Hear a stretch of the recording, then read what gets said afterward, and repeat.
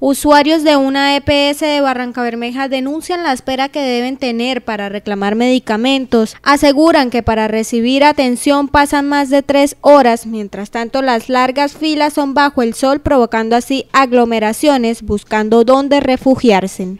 Me parece el colmo que uno tenga que hacer fila durante tres horas, estar de pie en un calor, en un sol como el que hace acá en Barranca esperando ser atendido para que nos entreguen medicamentos. Me parece el colmo, es mucho tiempo. Está bien que uno tenga que tener paciencia, que las cosas se demoran, pero es demasiado tiempo.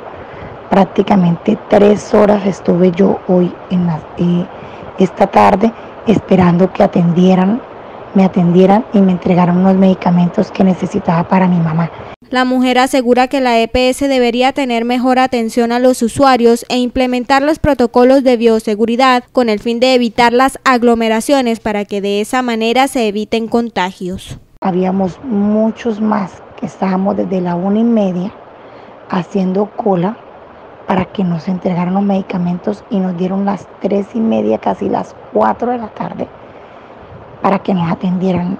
De verdad, no es justo, no es justo y no es bueno porque se supone que estamos tratando de no, de no hacer mm, aglomeraciones ni nada de eso. Entonces no me parece eh, bueno en estos momentos estar reunido tanta gente en la calle eh, para esperar eso.